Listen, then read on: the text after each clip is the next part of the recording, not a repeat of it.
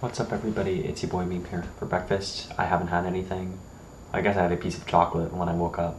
For lunch, I haven't had anything. I'm going to have McDonald's or Wendy's. Um, and for dinner, I don't know what I'm going to have. The reason why is because I actually have a shower. I have to take a shower at, um, I think, 10.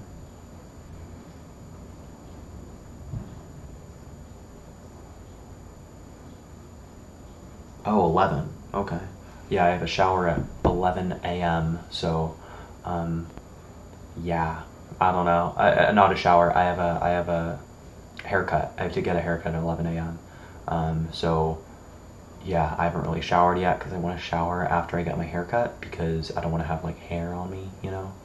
Um, and yeah, uh, at around 1 p.m. I'm going to be hanging out with friends. We're going to be meeting at the local strip mall, um, but I don't really know what we're going to be doing.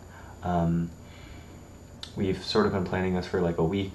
We've just sort of talked about the times. I assume we're meeting at the strip mall. I don't really know what we're gonna do. We might go to the park or something. We'll see. Um, you know, nothing else is really going on. Um, yeah, I don't know. Uh, yeah.